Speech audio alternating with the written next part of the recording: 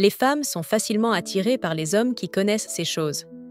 Vous êtes-vous déjà demandé comment certains hommes semblent constamment attirer l'attention des femmes alors que vous restez généralement bloqué sur les premiers rendez-vous, si vous avez de la chance?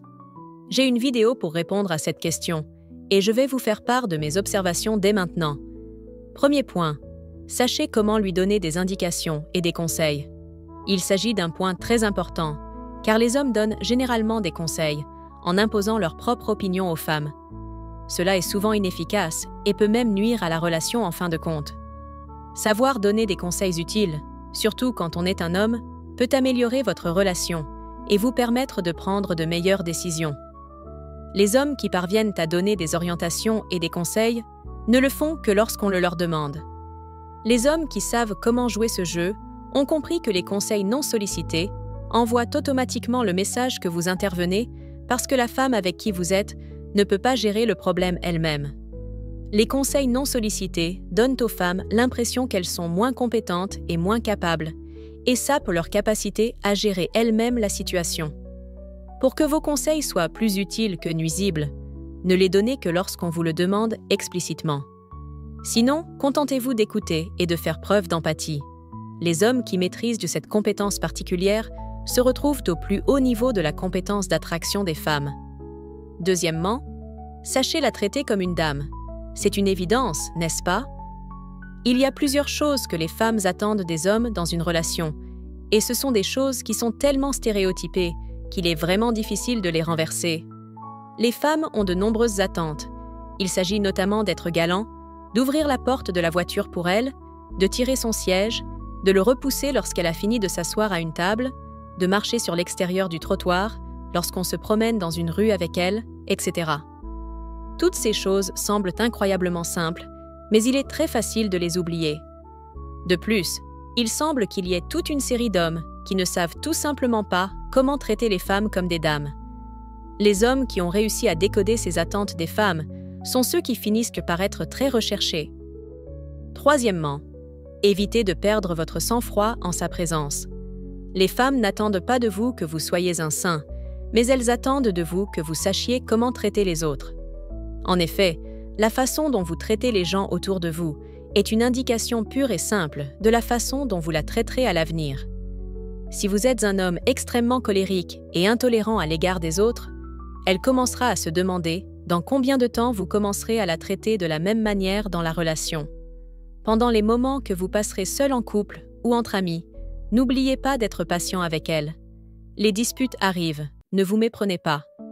Nombreux sont ceux qui affirment que les disputes font partie intégrante de la construction d'une relation.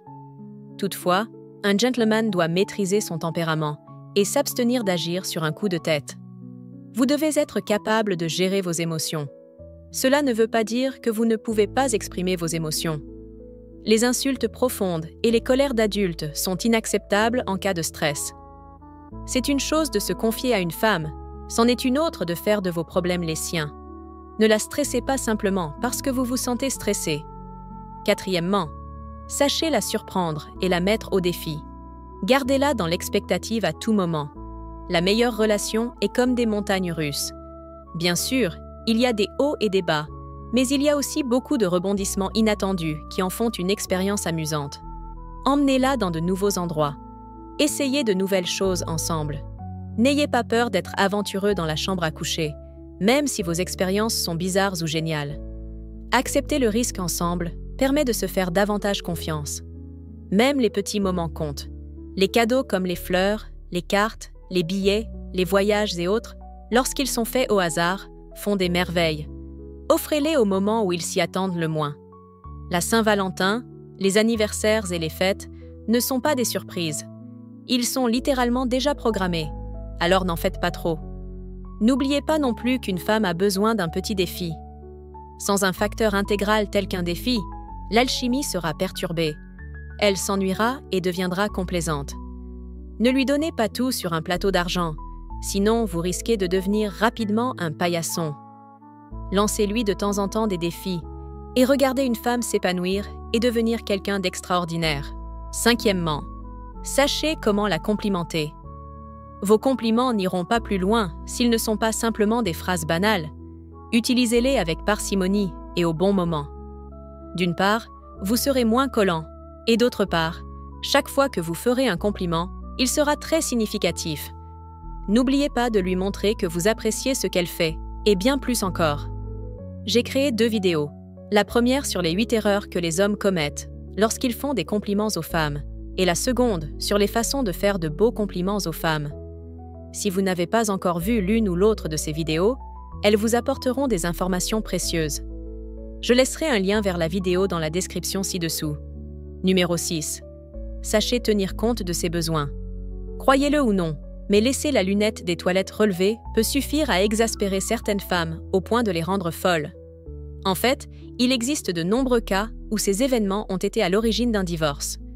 Je suis sûre que c'était plus ou moins une combinaison de facteurs, mais le fait est qu'il faut prendre un moment de temps en temps pour se faire une meilleure idée de ce que l'on peut faire pour améliorer la relation que l'on entretient. Peut-être faites-vous quelque chose qui l'irrite, mais c'est tellement insignifiant que vous ne vous en rendez même pas compte au début.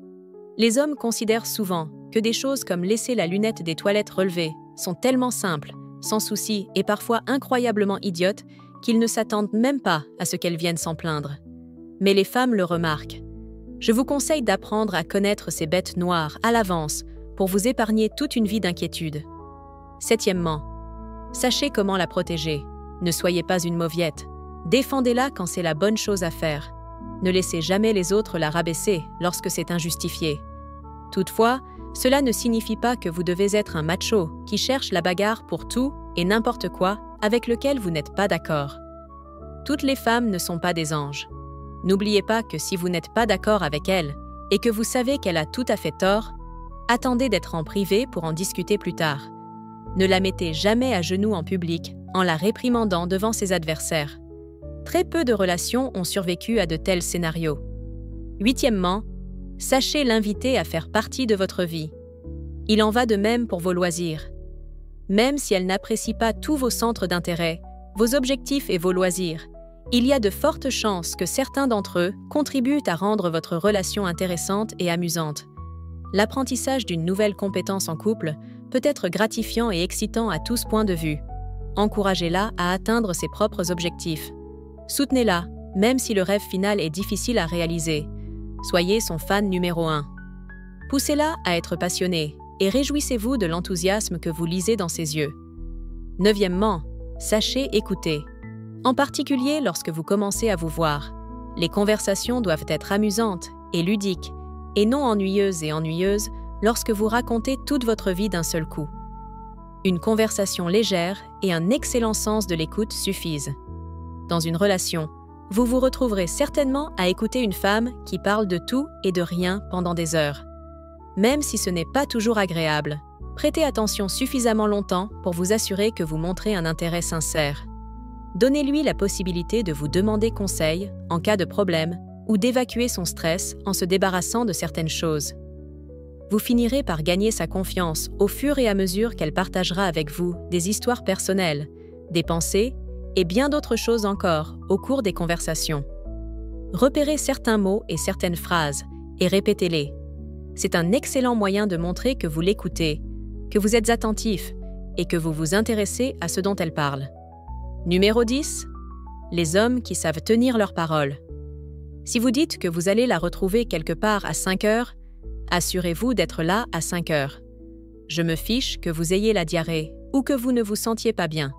La seule raison pour laquelle vous ne devriez jamais vous présenter après avoir donné votre parole, c'est si vous êtes mort ou dans le coma. La seule chose qui soit pire que d'être en retard, c'est de ne pas se présenter du tout et de ne pas avoir la courtoisie de le faire savoir. Dans ce cas, la communication est essentielle. Lorsque des facteurs indépendants de votre volonté se mettent en travers de votre route, gardez-le à l'esprit. Onzièmement, sachez lui accorder votre attention lorsque vous lui parlez. Accordez-lui toute votre attention. Les textos et les conversations téléphoniques doivent être réservés à votre temps privé, et non au temps que vous passez ensemble. L'une des pires choses qu'un homme puisse être ou faire est de sortir son téléphone pendant un bon dîner au restaurant et d'ignorer complètement sa petite amie lors d'un rendez-vous. C'est incroyablement grossier. Ce point particulier me rappelle une relation que j'ai eue. L'homme avec qui je sortais savait comment donner de l'attention aux femmes. Chaque fois que nous sortions ensemble, il ne regardait jamais une autre femme qui passait. Il me donnait toujours l'impression d'être désiré, d'être écouté. À la fin de la journée, je repartais toujours de nos rencontres complètement satisfaite et impatiente de le revoir. Numéro 12. Sachez lui offrir les bons cadeaux. Même si vous vous êtes mis d'accord pour ne pas vous offrir de cadeaux à l'occasion d'une fête ou d'une occasion particulière, assurez-vous d'en acheter un quand même. Croyez-moi. Lorsque vous offrez des cadeaux à une femme, vous n'avez pas besoin de dépenser tout votre argent, mais vous ne devez jamais lui offrir un cadeau minable. Faites en sorte qu'il soit bien pensé. Il est de loin préférable de faire un cadeau soi-même que de lui en offrir un qui soit de mauvais goût, dénué de sens ou tout simplement nul. Vous n'avez pas besoin de lui acheter une maison d'un million de dollars pour obtenir de l'amour en retour. Il en va de même pour les cadeaux. Il n'est pas nécessaire qu'ils soient disons coûteux, il suffit qu'ils soient significatifs et bien intentionnés. En revanche, si vous sortez avec une femme qui n'aime pas les cadeaux attentionnés, alors peut-être, juste peut-être, que vous avez affaire à quelque chose de complètement différent. Il est impératif que vous regardiez cette vidéo que j'ai créée sur les choses que les femmes font si elles ne sont dans une relation que pour votre argent. Je laisse un lien vers cette vidéo dans la description ci-dessous. J'espère que ces conseils vous ont été utiles et qu'ils vous aideront à devenir un aimant pour les femmes dans les relations. Abonnez-vous à la chaîne si vous voulez plus de contenu comme celui-ci. Je m'appelle Jessica et je vous donne rendez-vous dans la prochaine vidéo. À plus tard.